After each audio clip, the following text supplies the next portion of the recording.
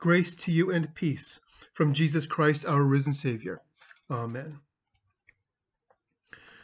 Part of the conversation surrounding medical assistance in dying, or MAID, M-A-I-D, is the unintended consequences among medical and hospital staff that is informed by a study in the U.S. prison system and the PTSD that many corrections staff are experiencing in the prisons where executions are taking place. While they try to safeguard the mental health of the prison officials through protocols and procedures that minimize access to the prisoner being executed, psychologists studying both those involved and those not directly involved with the execution, they all show symptoms of PTSD. They are finding that simply being part of a system that is intentionally involved in taking a human life can cause lasting psychological damage. Symptoms of PTSD were found in many of the prison staff, from the guards to the administration to the custodians. Each section of the prison was affected by the executions, even if they weren't actively taking part in the executions themselves. How this fits in with medical assistance in dying is now psychologists are wondering about the effects that this particular procedure has on ho hospital staff and personnel, the, the medical administration, the custodians, everyone who works in a hospital. They're wondering, is the same phenomenon happening where human life is being intentionally taken?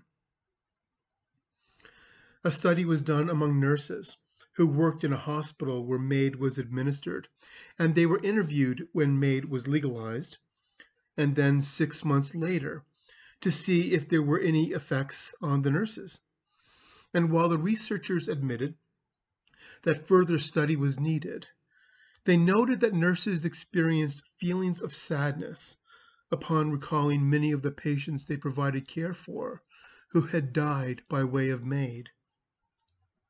And now, many healthcare workers are reporting COVID related PTSD symptoms. And people are wondering how this impacts the wider community and what can we do about it. Because many people I've talked to and have interacted with on social media have said that they don't know why they're feeling so stressed. They have enough to eat. They're getting by financially. They have a comfortable place to live. So they're asking, why am I so stressed? Why am I so anxious? And you might be asking that too. Or might be in the back of your mind, not allowing you, you know, complete peace. You could be out in your deck in this beautiful spring weather, the cup in hand, and you're wondering, why am I feeling so off? Why am I so stressed and strained? Why am I so anxious? Or you might be binging your favorite show after finishing your delicious takeout, supporting local businesses.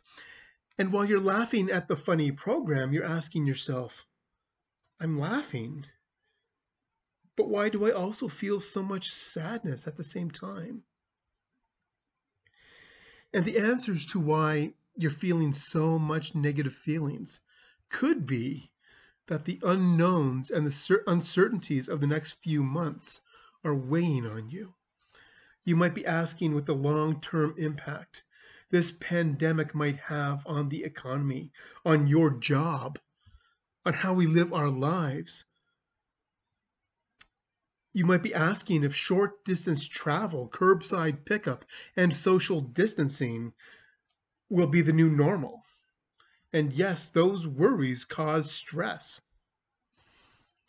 But also, you might be feeling our common stress, the stress that the system, a system, our system is feeling. Think of the world and our community as an interconnected system. A system can feel pain, and a system can transmit what it is feeling. Like a virus, you can catch stress when it impacts enough of the community. It's like when you walk into a room and immediately you feel tension even if no one is there or people aren't saying anything, and it's before you note the body language that would indicate a conflict is or was happening. I was recently at a meeting that, by all accounts, seemed productive. We had great conversation and uh, we were getting lots done. But I could feel a tremendous amount of tension in that room, and I couldn't sense where it was coming from because everyone was smiling and getting along. Or so I thought. Then what seemed out of nowhere and out of character, someone blew up in anger at an issue that I thought was put to bed. And I thought to myself, oh, okay, I, I was sensing tension. And that's where it was coming from. I'm sure psychologists have a name for this and can explain why it's happening, what is happening. So the stress, anxiety, tension, and grief that you are feeling is everyone's stress, anxiety, tension, and grief. This shows us again just how interconnected we all are. Just as the virus can be transmitted person to person and country to country, we receive and transmit energy to others. And today, a lot of people are transmitting stress, anxiety, tension, and grief. And we are also receiving all of that.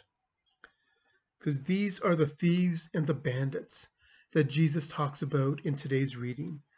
These thieves and bandits steal life because they steal joy, they steal happiness, and they steal compassion, and they destroy love, and they kill peace. And they leave behind pain and scarcity. That's why Jesus said that he was the gate. He is the gate to a different way of living. Jesus is the very embodiment of love of peace, of compassion, and joy. And he says that it is his way that leads to abundant life. That's why he came, he said, that we might have life and have it abundantly. So the good news is that because we are in Christ, we can emit a different frequency. We can disrupt the negative energy that is being transmitted at this time. We can put out positive energy through prayer, through caring conversations, through checking in on neighbors, through not getting sucked into the negativity vortex that is much of social media, and through reaching out if you need help, for not listening to the negative thoughts that pop into your head, through trusting that the Spirit of the risen Jesus is the gate through which we find abundant life. So then, your life may proclaim, as we emit these messages, as we send out that energy, as we proclaim with our words, with our deeds, with our thoughts, and with our prayers, that Christ is risen, that Christ is risen indeed.